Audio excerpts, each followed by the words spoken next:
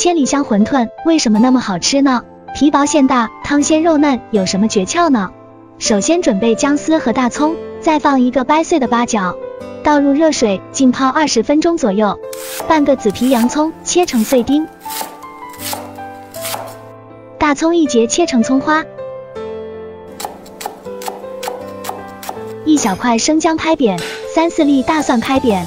然后全部放一起剁成小颗粒，不需要剁得太碎，像是瓶中这样大小的颗粒就可以了。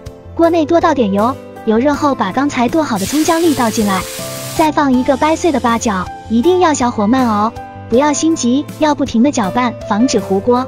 熬到浅焦黄时关火，放一把虾皮，稍微翻炒几下，倒入碗中备用。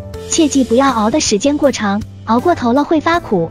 油的余温会把洋葱末慢慢变为深焦红色，这就是熬好的葱油，太香了，满屋飘香。这也是千里香馄饨之所以好吃的最关键的原因之一，就是它的黑葱油。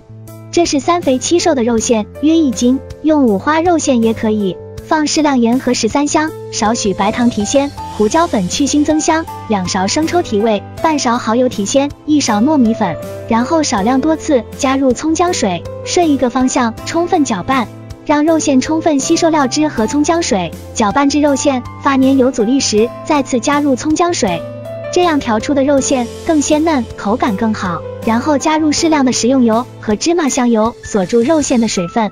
继续顺一个方向充分搅拌，搅拌至发黏有阻力，然后把提前准备好的葱花放进来。这时不要过度搅拌，以免影响小葱的葱香口感。稍微翻拌均匀即可。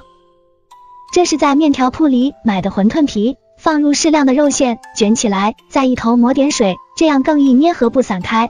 馄饨的包法有很多，这是最简单的包法之一。